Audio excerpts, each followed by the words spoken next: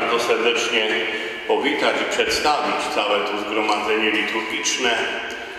Dzisiaj jest środa, dzień poświęcony świętemu Józefowi. Tak jak sobota dzień poświęcony Matce Bożej, e, tu w tradycji Kościoła. Więc dzisiaj e, tutaj jest no, zawsze więcej pielgrzymów. W każdą środę wieczorem jest nowenna do świętego Józefa z całego tygodnia. Tu są zbierane te wszystkie prośby, intencje różnych pielgrzymów.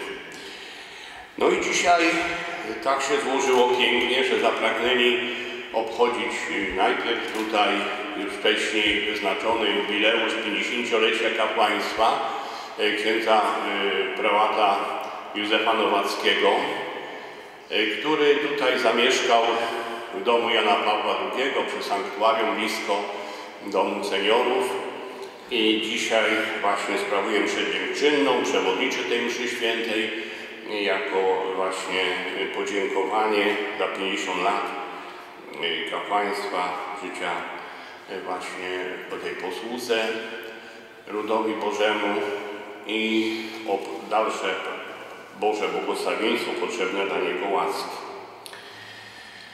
A druga intencja jest też bardzo piękna, bo y, jako pielgrzym dzisiaj y, przybył y, bardzo zasłużony dla naszej ojczyzny, dla naszego narodu, pan marszałek senior Józef Zych, który to między innymi dla jego właśnie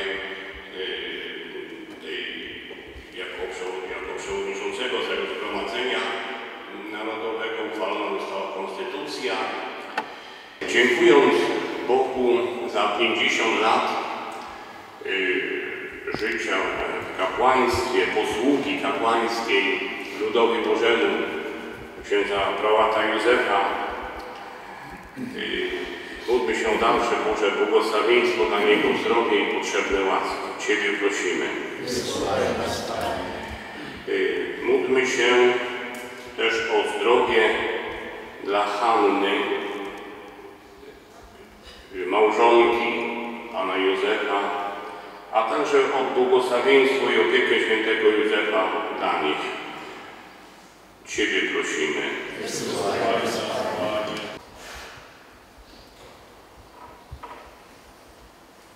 Oto Chrystus, baranek Boży, który głodzi grzechy świata, błogosławieni, którzy zostali wezwani na Jego ucztę. Nie jestem godzien, abyś przyszedł do mnie, ale powiedz tylko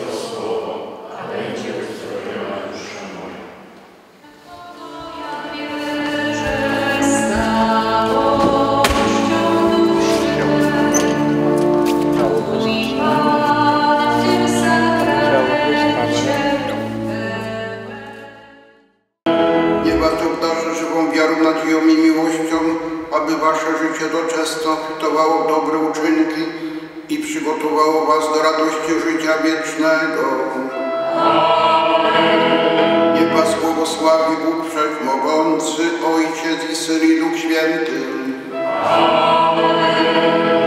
Idźcie w pokoju Chrystusa. Bogu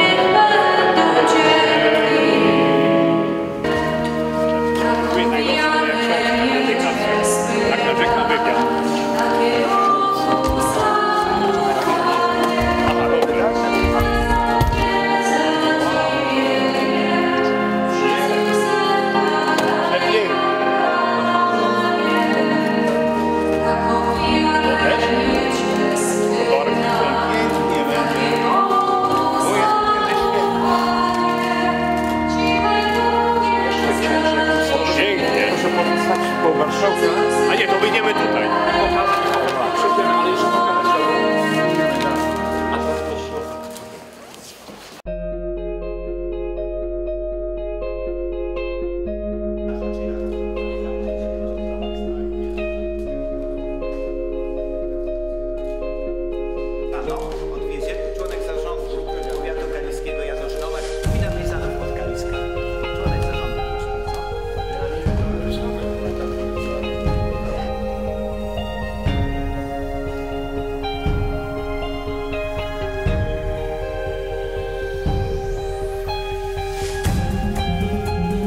Gościem specjalnym dzisiejszego wydarzenia jest wielki autorytet, marszałek Sejmu drugiej kadencji w latach 1995-1997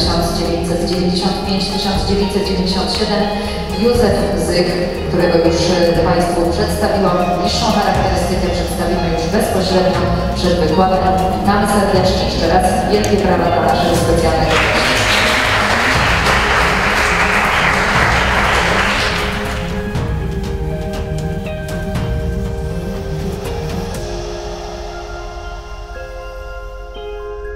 Panie Marszałku, poprosimy Pana o zabranie głosu, o przytuczenie tych najważniejszych chwil w uchwaleniu najważniejszego aktu Rzeczypospolitej Polskiej, naszej polskiej konstytucji.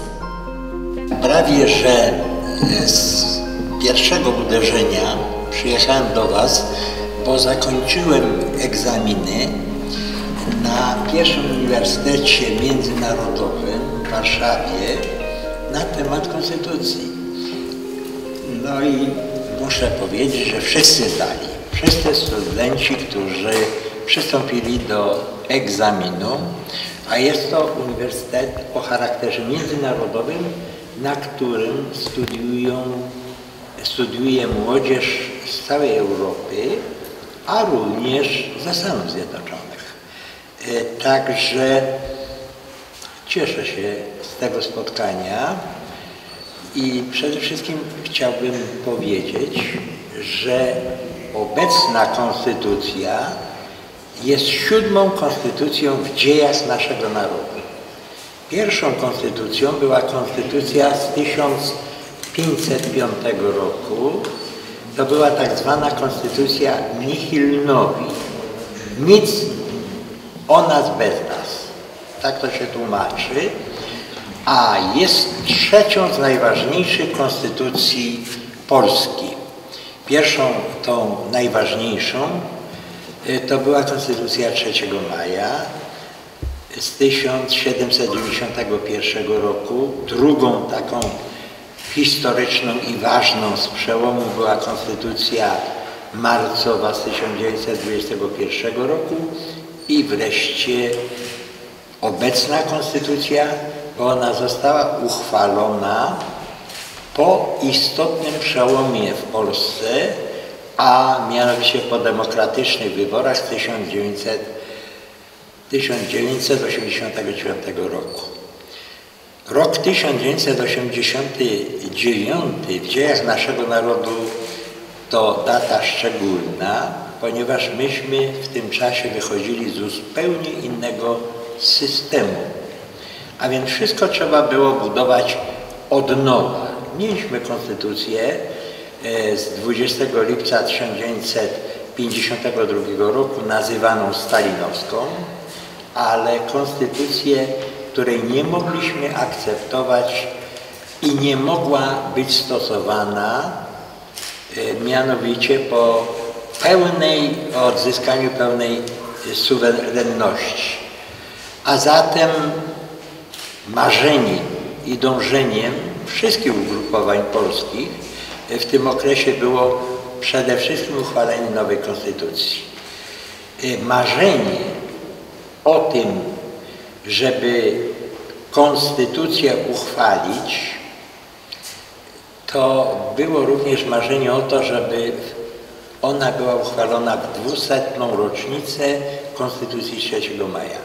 To się nam nie udało bo to było niezwykle ważne i trudne zadanie. Ja przypomnę tylko, że w tym czasie w Zgromadzeniu Narodowym, a Zgromadzenie Narodowe to jest zebranie wszystkich posłów i senatorów i ono było tylko i wyłącznie powołane do tego, aby uchwalić konstytucję. Innych zadań Zgromadzenie Narodowe nie miało.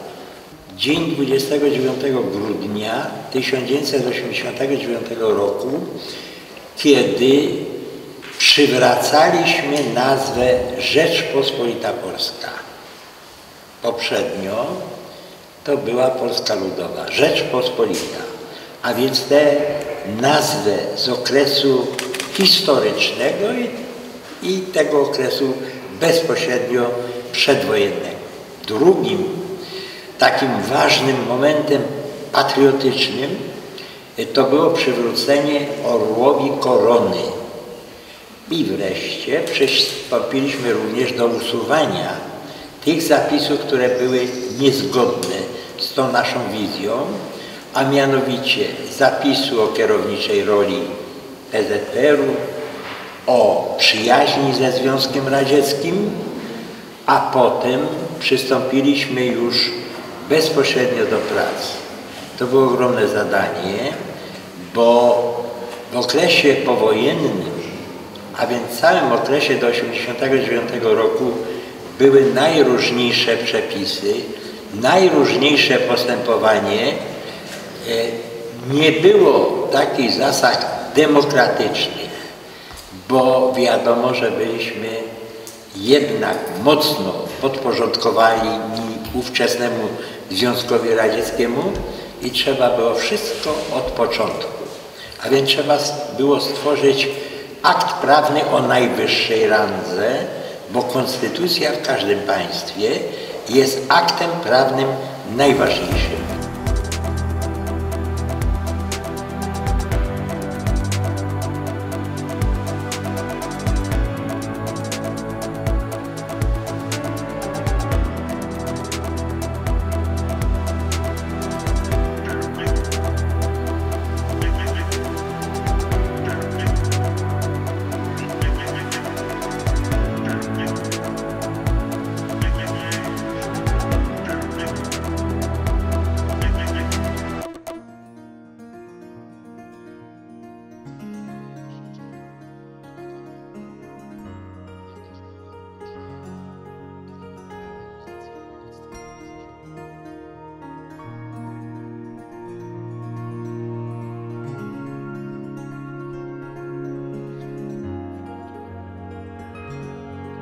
Marszałku, bardzo, bardzo serdecznie dziękujemy za tą żywą lekcję najnowszej e, historii, za przybliżenie nam całego procesu legislacyjnego, choć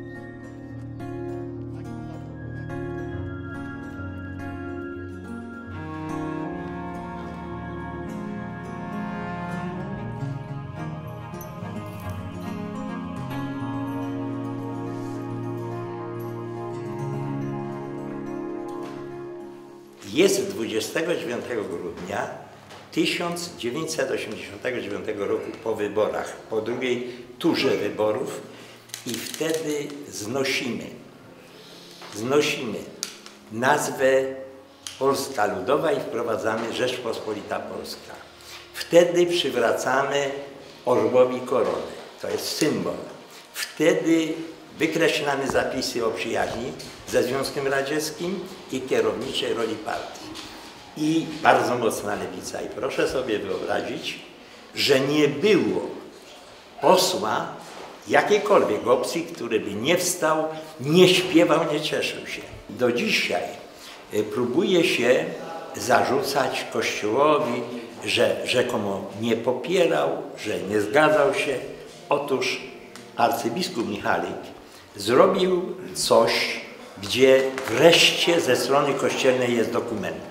Ja wcześniej o tych uzgodnieniach nie mogłem mówić, bo były pewne zasady i bezwzględnie były przestrzegane.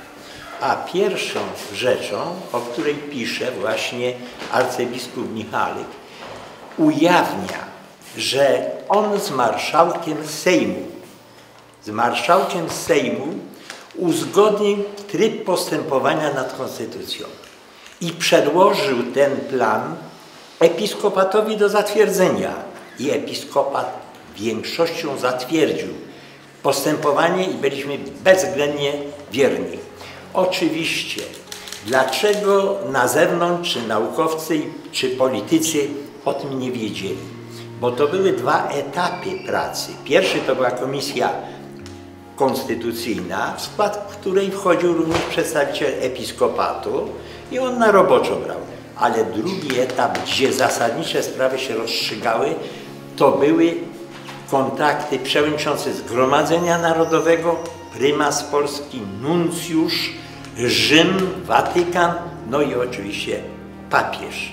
Proszę Państwa, ja doskonale zdawałem sobie sprawę z jednej rzeczy, że jeżeli Kościół zająłby negatywne stanowisko, co nie świadczy, że byli księża i biskupi, którzy mieli inne zdanie, ale episkopat nigdy negatywnie się nie wypowiedział, bo doskonale zdawaliśmy sobie wszyscy sprawę z tego, co by się stało, gdyby, gdyby w referendum nie zatwierdzono konstytucji. I to jest jedna prawda, a w moim przekonaniu to była decydująca, bo w Zgromadzeniu Narodowym byśmy uzyskali, bo wtedy mieliśmy większość, a mianowicie wtedy było SLD, PSL, Unia Wolności, Unia Pracy. Czyli większość parlamentarna była do uchwalenia, ale wiedzieliśmy, że jeżeli referendum będzie negatywne, to po konstytucji. Bardzo się cieszę, że będziemy mogli, e, sądzę, to zależy od Pana Marszałka, ale przez jakiś czas e, ten egzemplarz okazywać tutaj w Starostwie Powiatowym e, Kaliszu w godnym miejscu i pokazywać społeczeństwu, bo to jest świadek naszej historii. Ten egzemplarz, który pokazuje, jak nasza historia w zakresie konstytucji przebiegała. Również obok tego egzemplarza, on jest za Panem Starostą, są inne pamiątki, które otrzymaliśmy e, od Pana Marszałka. Ja poprosiłem również bibliotekę imienia Damasnyka w Kaliszu, aby przeszukała w swoich zasobach i e, trzy egzemplarze wydawnictw poświęconych Konstytucji. Również tutaj znajdziecie e, Państwo na tej wystawie. Jest również, są dwa albumy, które ukazują pracę Pana Marszałka łącznie z pracą naszego papieża Jana Pawła II. Te albumy też będziemy mogli oglądać oglądać tutaj na wystawie. I na koniec y, ja ze swojego zawodowego podwórka przyniosłem jedną rzecz. Y, otóż y, w czasie pracy już mojej w Zakładzie Unieczyszczania, Unieszkodliwiania Odpadów Komunalnych znaleźliśmy piękne wydawnictwo. Ono jest na samym końcu. Olbrzymi tom pokazujący wszystkich posłów i senatorów Sejmu Ustawodawczego. Te, czyli tego, który na początku po odzyskaniu przez Polskę niepodległości Y, uchwalał pierwsze nasze ustawy po 1918 roku. Było takie wydanie albumowe, pamiątkowe w 1927 roku oddane do rąk mieszkańców i ono trafiło do nas dobrego stawu, ale zostało e, uratowane, ocalone i dzisiaj też tutaj e, prezentujemy e, na tej wystawie, a ono jest o tyle cenne, że zawiera wszystkie zdjęcia wszystkich posłów, wszystkich senatorów i biogramy tych ludzi. Także myślę, że tutaj na naszej ziemi bezcenna, bezcenna pozycja. Zapraszam starostę kaliskiego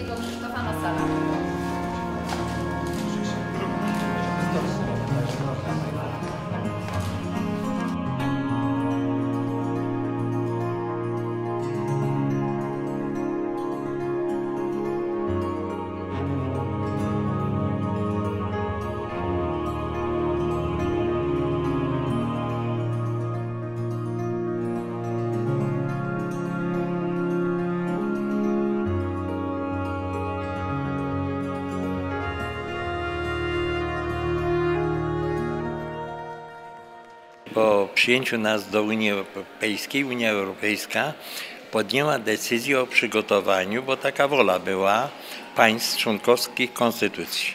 Konstytucja ta została e, przygotowana przed tak zwany konwent, który składał się z 105 e, parlamentarzystów, europarlamentarzystów.